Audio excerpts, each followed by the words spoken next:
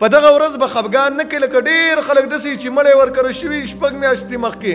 اته میاشتې مخکې دغه ورځ چې راشي سهار وختي نه خپه یو جړاګانې یې په هغه کور کې او سړي ځي مقبرو له ځان سره یې اګرباتۍ او د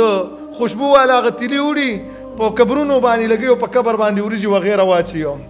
دغه شیز ګور اسلام کې ناروا دی او خپل خپلوان په دغه ورځ باندې راځي جامې نه یې اچولي ولې یاره زمون خپلوان اته میاشتې مخکې مړ شوی دی وغي سر راشي په کور کې جړاګانې شروع کی رسول الله صلی الله علیه وسلم فرمایي دا خو خوشحالي ورځ ده په دغه ورځ باندې ته خوشحالي مناو کا په دغه ورځ باندې ته د مړي کور له خسته کپڑے راوړه دا غ خزه ته دا غ لور ته وایا چې مخه پکېږي دا ورځ رب العالمین په ارچا باندې راولي خونن د خوشحالي ورځ د نن به زمونږ سره تاسو خوشحالي کوي دا اختر په ورځ باندې یو څو اعمال دي چې هغه مهم او ضروری دي رسول الله صلی الله علیه وسلم په خپل هم کول او امت تیم په هغه باندې امر کړ چې دغه شانته وکړي د سینه چې د اختر په ورځ باندې را پاسي ځوان لاړ شي سکاوي ته په الته کې په ګیره باندې شروع کی ګیره اخري او یا د اختر په ورځ باندې را پاسي اول د ګانو بجان نه شروع کی چې را رمضان خلاړو د اختر ورځ د خوشاله ورځ ده نه په دغه ټیم کې شریعت موږ له احکامات خو چې اول شروع په دې باندې وکړه نو د اختر په ورځ باندې کم طریقې او کم کارونه سنت دي اول دا چې د اختر په ورځ باندې سرسایه ورکول کله چې انسان د خوب را پاسېږي د مانځنه به مخکې دا ورکې تفصیلی بیانونه مخکې مونږ کړی دي دارنګه د اختر په ورځ به نبی کریم صلی الله علیه وسلم اول کجوري خوړلې مخکې د ناشتې نه او حدیث د بخاری کې راځي افرمایي وي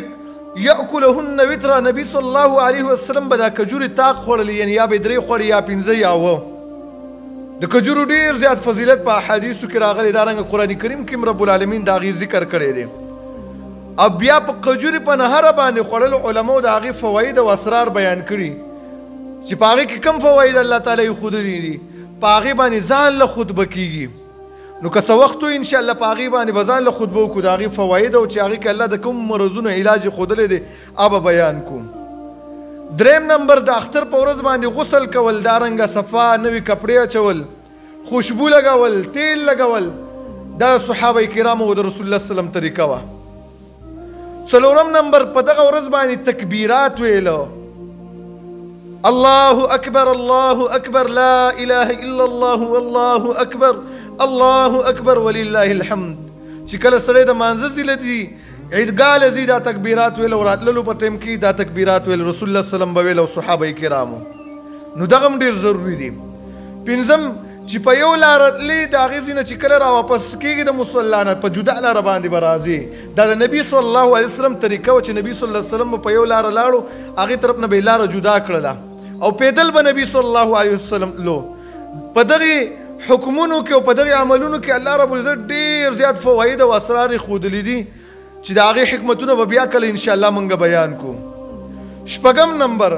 په دغه ورځ باندې نبی صلی الله علیه وسلم د اشراق منځ نه دی کړی وره حدیث کې راځي عبد الله ابن عباس رضی الله عنه فرمایي صلی یوم الفطر رکعتین نبی صلی الله علیه وسلم د اختر د ورځې دوه رکعات منځ کړی د اختر منځ لم يصلي قبلها ولا بعدها چې دا غینه مخکې نه منځ کړی دی او نه رستو تر غنمې پورې نبی صلی الله علیه وسلم تنه مخکې رستو مونږ نه کړي دام سنت طریقه ده اوم نمبر په دغه ورځ خوشحالي ښکارا کول ځکه دا ورځ د خوشحالۍ د نبی صلی الله علیه وسلم چې کله مدینه ته رالو وی قتل خلق نور ورځ مناولې نبی صلی الله علیه وسلم فرمایي لكل قوم عيد د هر قوم د پاره یو اختر یو زمونږ دوه اخترونه دي هغه د ورکوټ اختر ورځ او دغه اختر ورځ دا ورځ الله رب العزت مونږ له خوشحالي د پاره را کړیو په دغه ورځ به خفګان نه کوي لکه ډېر خلک داسې چې مړی ورکره شوي شپږ میاشتې مخکې اته میاشتې مخکې دغه ورځ چې راشي سهار وختي نه خپوي